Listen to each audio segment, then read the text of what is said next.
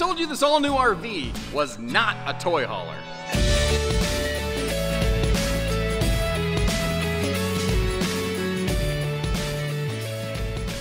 Hello and welcome everybody. Josh the RV Nerd here, actually down at Forest River's little media facility where they take all the fancy pictures they put on their website. I heard they had all of their new V Series models up here. These are what I'm going to call something in the way of like a crossover, where it's not a traditional toy hauler in that traditional sense where it's just got a big open garage and you can park a side by side RZR in it, brother.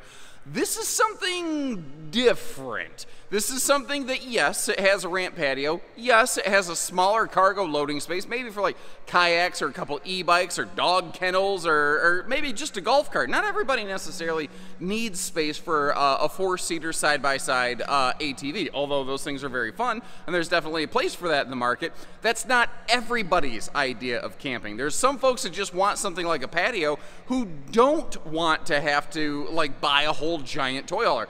This can be that. This can be a bunkhouse. This can be a couples camper. This can have its own little desk space.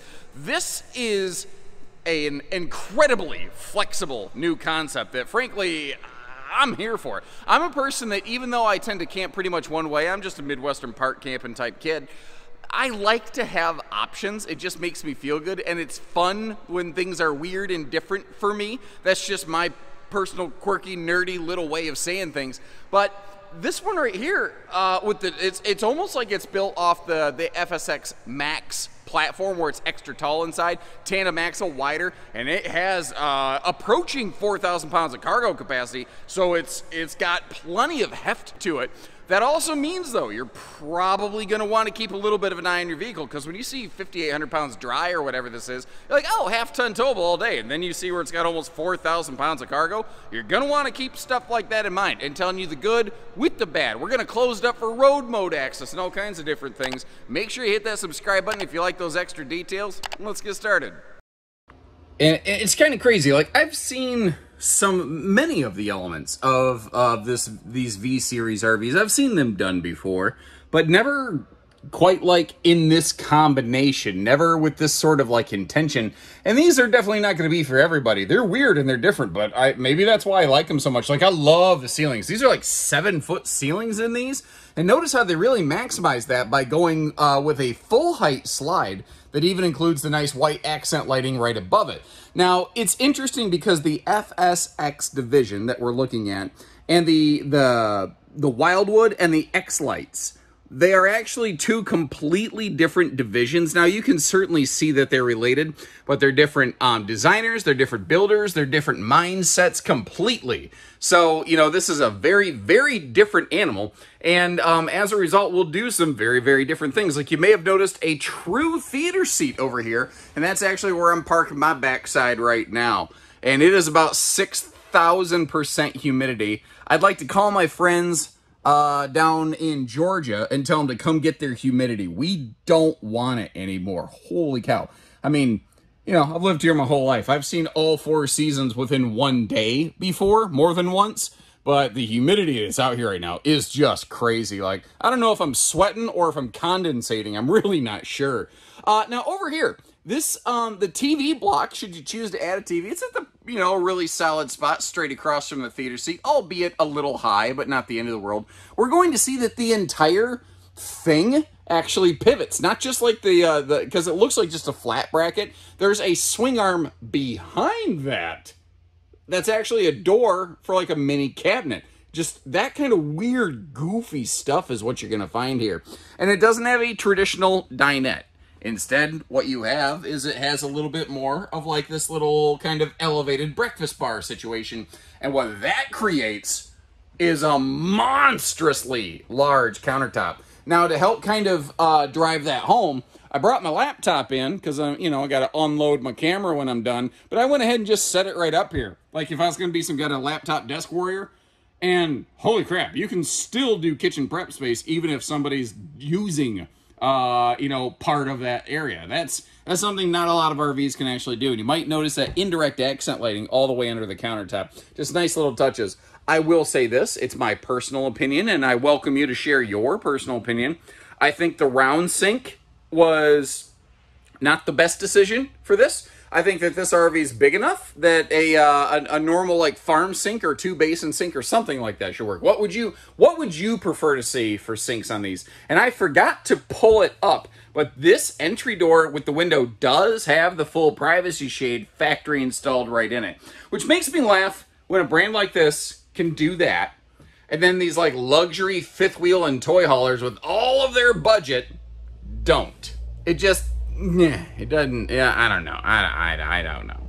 Doesn't seem quite spot on to me, but that's, again, just my nerdy little opinion. That is a jackknife sofa below that little Murphy function. We're going to come back later and see all of the storage, and uh, we're going to get to see how that opens and closes. It is what I call a folding bendy bed, so that might be something that some folks want to kind of keep in mind. I love the big wide open side stands on both sides of the bed and the household and USB outlets on both sides of the bed. And I, sorry, I just walked into like a cabinet behind me if the camera lurched real hard suddenly right there. But again, a full theater seat right here. This is something that other than um, the destination Salem Wildwoods, which is yet another total different division and factory um, it's something that you've never really seen from this group before. So it's cool to see them finally start getting into that a little bit. Now, this I thought was really interesting. There's so many times manufacturers put a fridge in a slide and then it's just dead pocket space behind it. Now that shelf, yeah, you have to kind of climb. Um, you know, you have to do the loop knee walker routine. You have to put your knee on the couch and kind of reach back there like you're going to give an elephant an enema, and it's not ideal. But if you got some kind of wicker baskets or totes or something that you could slide toward you, it might make that a little bit easier. Uh, just just a little uh, just a little idea there. Now that is a 12 volt compressor fridge, and FSX was actually the first one to use that. I call it the AC/DC fridge door, where it can open both ways. Um, and what's cool about that is if you're just sitting here in the living room and you want to grab a drink or you're cooking in the kitchen, it, it makes perfect sense. It works just fine. If you're coming from the garage and you open it the other way, it also kind of makes sense because there's no wrong way to open it. You can see that heat duct built right into the cabinet face right there. You won't see them in the floor. These are um, carpetless and ventless all the way through. So not only does that great, like, you know, if, if you're going to load a four-wheeler or uh, a golf cart or something back in that kind of cargo space, I don't even want to call it garage. I want to call it a cargo space. Um, or if you got if you got pets, if you got a four-legged furry friend, they are going to be able to get along just fine in here. Now, we're going to come back to this whole thing in just a minute because that's kind of something very special. I'm very excited to show that to you. But while we're on our way, first, just a quick peek at the bathroom. The toilet space was not bad, but there's that little wooden box down there, and that's where they have either some plumbing or some wiring or something like that is run down there. And I couldn't decide if my foot belonged on top of it or not. it was a little bit different. And um, this is also different. They went with like a, a cabinet with a mirror beside it. And you'll hear me say in a lot of my videos that I, I really like a window in a bathroom because I think it churches up the joint. Usually I use those exact words, actually, I think. I think this mirror is kind of providing that same function. And part of the reason is like we're inside right now. And most of the time skylights are, pro are providing you with the, the lighting that like you're going to see in my videos in the shower. That's not the case here because it actually has a uh, Ahsoka Tano lightsaber beam right there. Hers being the white blades, uh, which is very, very cool looking, by the way. And and frankly, with this being so tall, like I'm a little over six foot, I got a question. Should it even include a skylight above the shower being this tall?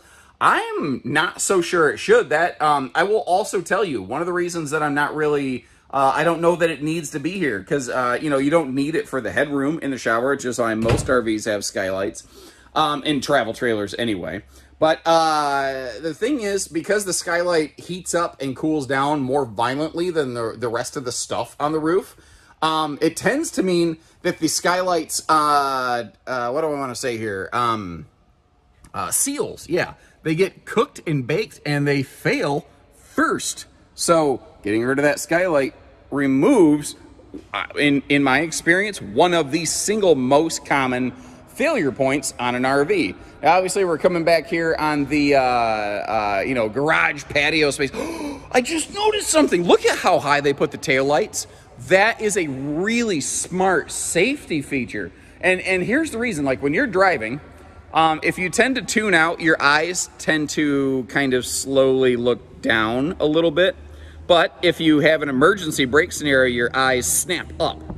Well, by having those lights in that higher up position, it, it makes them more likely to be seen. Um, the uh, back here on the patio, this is kind of cool. You can have your own rear patio entertainment, and I like this handy little sink station. This this little kind of drink station, maybe. You know, everybody likes hanging out in the kitchen because that's where the food and the drinks are. You can maybe do a little bit of that back here. I'd throw a cooler on the tailgate with me, and I'd, I'd have a good time. Now, these windows over here, uh, both of them do open for airflow, and they both have snap-on blackout uh, kind of privacy shades. So if you want to really keep the sun out, you want to add some privacy back here, you can do that. And back here in the little cargo area, you do have a pair of these uh, little um, air vents so that if you're loading something with a combustion engine, you can make sure that you breathe out that nasty exhaust before it kind of sinks into all the soft goods uh, in your RV. Now, I will tell you, when we're, uh, I'm about to fold all this up and show you all the cool functions it can do, but the these two cushions, that back cushion and that bottom cushion, you do have to put them somewhere. They don't just fold up. The cushion on the top bunk, now that one stays exactly where it's at, so that's not a problem. And consider this, being seven foot tall versus an, uh, an industry standard six and a half foot RV, you have three extra inches of room for each bed. And that doesn't sound like a lot until you've sat up in a bunk and about cold cocked yourself and you don't run into that here. Um, and you can see this is made by MORryde. I will tell you, it is fairly heavy, but hey, if my chicken arms can do it, yours probably can too. But I like that it includes the like, hey, uh, drunken uncle, don't fall out of bed kind of safety rail over here. And it even includes its own handy dandy little ladder. But check this out. The ladder is built in. The ladder slides out of the way. Magnet catches on the bottom. You can pin everything in place. And then um, you uh, basically eh, flip the bottom thing up and it can either be like a little shelf or or like food station, drink station, a, a, a, mini laptop station. I've actually set up on one of those before and it got the job done pretty darn well. Um, and there's the tote storage down below that. There's also three more of those totes up under the front bed. So this RV has huge cargo capacity and you know, you, you can actually load the whole thing. There's so many RVs that have big cargo space, but not enough actual cargo capacity on the RV. And there's, uh, I, I, don't really have a lot of stats. It's been kind of just my empirical evidence experience, um, just through observation, that when uh, an RV has a really high cargo capacity, the RV tends not to rattle trap apart going down the road because the structure is not like getting overstressed the entire time. That is just sort of, you know, a little bit of what I've noticed here. Now, as long as we're diving into the details, I told you we'd come back and take a look at some things uh, up in here, up in here. First of all, take a look at that uh, area where the TV mount, and like I said, that is a cabinet behind it. Under the sink, I kind of wish they'd have left us a little spot for a wastebasket next to that convection microwave. You might notice this does not have a propane gas oven in the kitchen, but it does have like dedicated pantry space, overhead cabinet space. Like it's done that very, very well. Then over here, you've got your Murphy bed. It is a bendy bed kind of scenario where uh, the mattress does have a fold. It doesn't have like a gas strut to put the platform kind of up and down or anything like that. Uh, you know, it is a very manual situation. Here's how I, I, think I would probably use this. I think I would probably ignore the fact that it's a Murphy bed, and I'd put uh, a, a, nice foam topper at least on that backbreaker death wafer mattress from the factory. And I would probably just leave it down as a walk-around bed the whole time. That's probably what I would do. But if I was going to have some guests over, if I was going to be stuck inside on a rainy day, spend some extra time in here, I might put the bed away and regain some living space like we're kind of looking at through most of the video. Um, I, you know, I'd be kind of curious, folks who actually own Murphy bed campers, you know, how do you you use them? Like, do you put them up and down every day? Do you leave them one way or the other? Uh, you know, uh, I don't know. Leave us all some comments. Maybe that'll help both me and maybe somebody else who's looking. Now, when you're sitting here, once again, just huge, huge counter space. And even with my laptop there, you can see all the space uh, that you still have available for uh, prep and function and everything. I love all the outlets. That's one of the unsung qualities of a stick-built camper. Now, you can get this with common tin skin or fiberglass skin. We're going to touch on that more later. But the fact is, uh, you uh, you kind of get to pick your own poison a little bit on this one. But what I'm not sure of, I mentioned leaving the bed down. I'm eyeballing it. I think we might be able to leave the bed down in transit. Let's close that slide and find out. Oh, oh, you can, and with room to spare. Holy cow. Actually, here you go. If you leave the bed down all the time, you're like, well, do I still have room to use the chairs? Yeah, I, I personally think you do. People can still come and go pretty comfortably in the RV. Um, or if you didn't care about the Murphy bed function and you just wanted to put in like a really nice queen mattress here, you could do that. And then remember, you have the totes under the bed for easy kind of access. However, there's always a but, and this one's a big but. Uh, when the deep slide comes right up to that kitchen counter, unless you're gonna yeet the wife and kids over the bed or do the Dukes of Hazzard butt scoop boogie yeehaw over the top of that thing, you're uh, you're not gonna have the greatest of travel access. I had a little thought on that though. A lot of times travel access people need to be able to access the RV within a parking space. Parking spaces tend to go, let's call it vertically, you know, uh, north-south versus east-west. And the tailgate opens off the back of the RV. If you're in like a big truck parking lot, you might actually be able to like drop the tailgate to get into the back section, to get to the kitchen, to get to the uh, the bathroom and all that. But don't get me wrong, that feels very much like shoving a square peg in a round hole. What I'm saying is like, hey, if uh, when I was a grandkid that always said I don't need to use the bathroom, and then five minutes in the ride was said I had to go potty, like constantly. Well, if it's like a, uh, hey, my kid's gonna pee their pants, or we drop the tailgate and get in the bathroom thing, I would make this work. I'm not saying you should have to do it every single time, but it's a thought. But I think I might have just stumbled into something that might be kind of cool on these bendy beds that I never really thought about before. I was just sort of walking through the RV and I hadn't finished setting this one up. And you know those like power headlift beds, you know, like a sleep number bed or something like that? You can kind of do that here. So if it's like a rainy day and, you know, the theater seat isn't feeling comfy, you want to kind of half lounge sort of thing, like, you could sort of do that and I don't I don't know that I hate that. I, that might actually be kind of nice. I don't know. And I kind of talked about this when our video began. Uh, when you see like 58, 5,900 pound dry weight, people are like, oh man, half ton towable all day long. And there's going to be a ton of places. There's going to be a ton of people that are more than willing to take your money and say half ton towable, absolutely, without so much as batting an eyelash or even asking more questions. Um, keep an eye on the hitch weight. Keep an eye on the total GVW of this one. Um, it's it might be the kind of thing where if you're if you got a really really heavy half, yeah, maybe there's some potential there. But if you're going to go cross country through the mountains, you may want to bump your truck up a notch to something like a three quarter. Now up top here, you can see that 200 watt factory solar package with 30 amp controller. So if you want to expand on that a little bit, you can.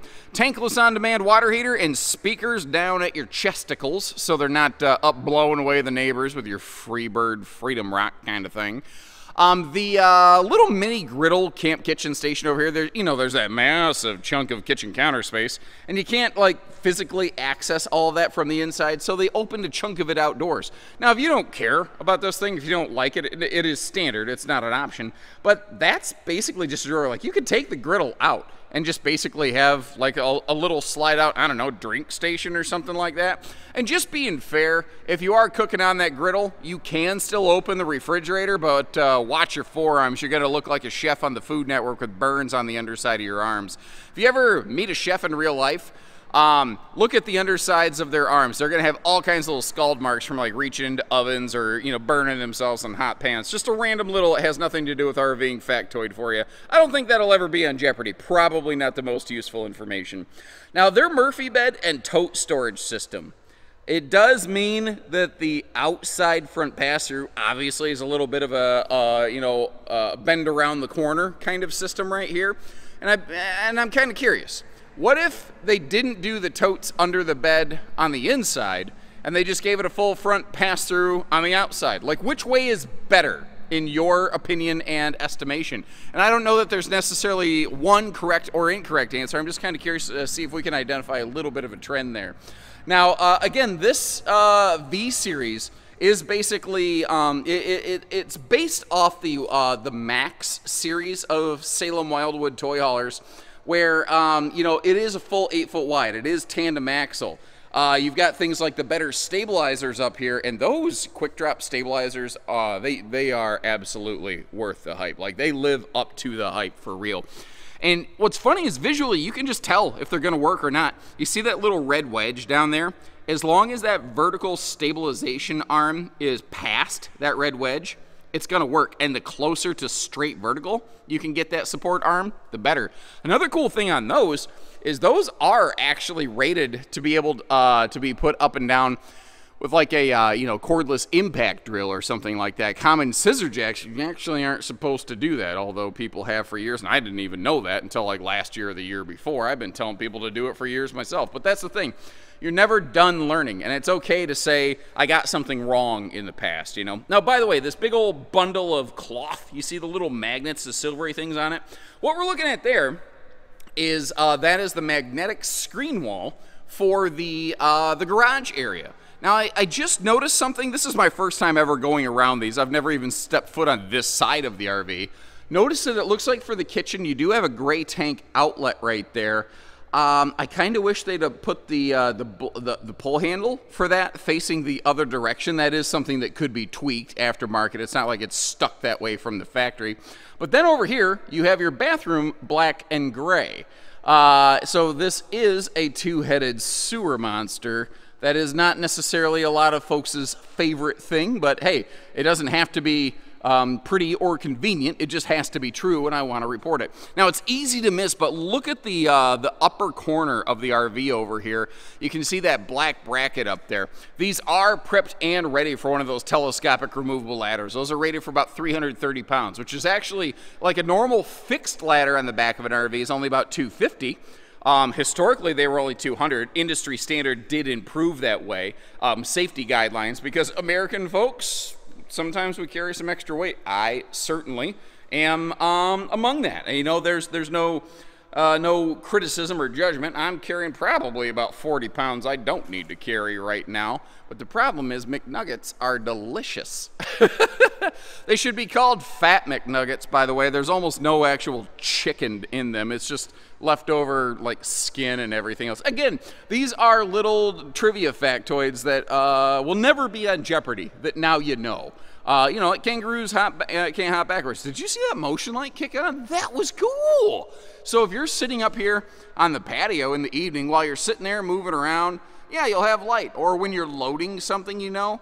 But if you, uh, you know, you hop inside, you don't think about it, that light will turn itself off, and then you don't have uh, the getting blinded by the light uh, Bruce Springsteen, Manfred Mann style, because your neighbors, if if you blind your neighbors uh, by the light, they will get revved up like a deuce, another runner in the night. So you've got the sewer caddy hose tube back here as well, by the way, and you do still have the enclosed forced air heated accessibility system on this, which is sectionalized drop panels. God forbid you need service stuff. This makes it a lot, lot easier. Now, this is just the very first of this new V series that they have coming out here. They have two other floor plans at the time that I'm releasing this video, and I will be getting footage of those today. You can actually kind of see them peeking over here in the background. One other quick little note. Today we saw something where the sticker said Salem FSX.